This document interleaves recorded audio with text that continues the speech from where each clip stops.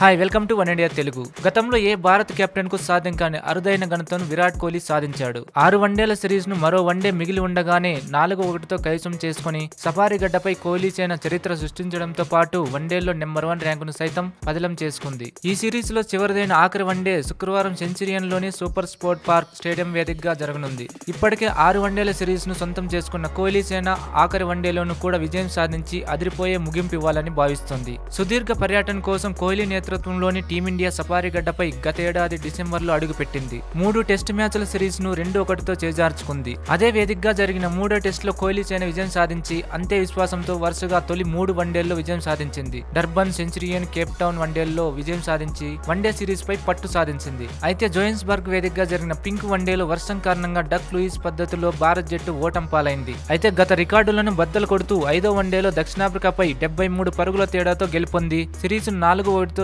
కోహ్లీ సేన కైవసం చేసుకొని చరిత్ర సృష్టించింది. సఫారీ గడ్డపై వన్డే సిరీస్ను గెలిచి పాతికేళ్ళ నిరీక్షణకు తెరదించింది. ఇప్పుడు రెట్టింపు ఉత్సాహంతో కోహ్లీ సేన ఆరో వన్డేకి సిద్ధమవుతుండగా దక్షిణాఫ్రికా మాత్రం చివరి వన్డేలోనైనా గెలిచి పరువు నిలుపుకోవాలని చూస్తోంది. ఇప్పటికే వన్డే సిరీస్ను కైవసం చేసుకోవడంతో చివరి వన్డేలో కోహ్లీ సేన తుది జట్లు స్వల్ప మార్పులు చేసే అవకాశం ఉంది. నామమాత్రమైన వన్డే కావడంతో రిజర్వ్ బెంచ్ బలం పరీక్షించాలని కెప్టెన్ విరాట్ కోహ్లీ ప్రధాన కోచ్ రవిశాస్త్రి భావిస్తున్నారు. దీంతో అక్షర్ పటేల్ శార్దుల్ ఠాకూర్లు తుది జట్టులోకి వచ్చే అవకాశం ఉంది. ఆరో వన్డేలో కోహ్లీ సేన విజయం సాధిస్తే సఫారీ గడ్డపై అరుదైన ఘనత సొంతం చేసుకోనుంది. సఫారీ గడ్డపై దక్షిణాఫ్రికాపై ఓ ద్వైపాక్షిక సిరీస్లో ఐదు వన్డేలు గెలిచిన రెండో జట్టుగా అరుదైన ఘనత సాధిస్తుంది. Thanks for watching one India Telugu. For more interesting updates keep watching one India Telugu.